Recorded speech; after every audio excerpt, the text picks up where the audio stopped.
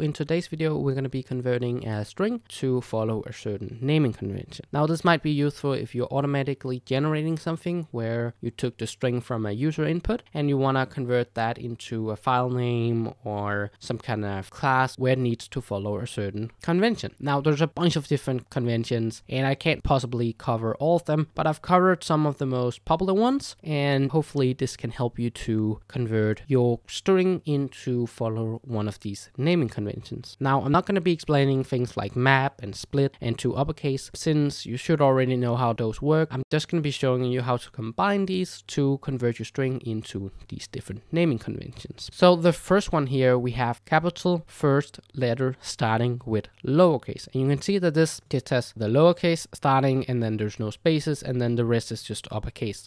And here you can see where it's just uppercase.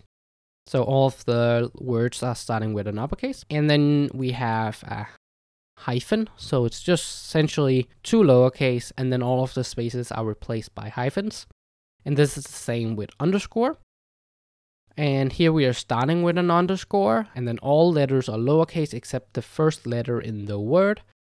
And the last one down here is just all uppercase where all of the spaces are removed. So I hope that you can see how I'm doing all this and I've actually used a lot of stuff from other functions. So you can certainly, if you want this function here, but you want it with this lowercase word, you can certainly do that. You can just go ahead and copy paste one of these functions with whatever feature you want and copy paste that and sort of generate the format that you want. So I know this video has been very quick, but I felt like it's pretty good to have a video on it because then you guys can quickly Google it or have it in the back of your mind whenever you are having to follow some kind of naming convention. And then you have a quick video to just watch and get the information you need. And I will also have this code down below on GitHub so you can go ahead and copy paste all these functions. So if you like this video, hit the thumbs up button and the subscribe button. If you want to see more of my videos, I have included two videos right here. And hopefully see you in the next one.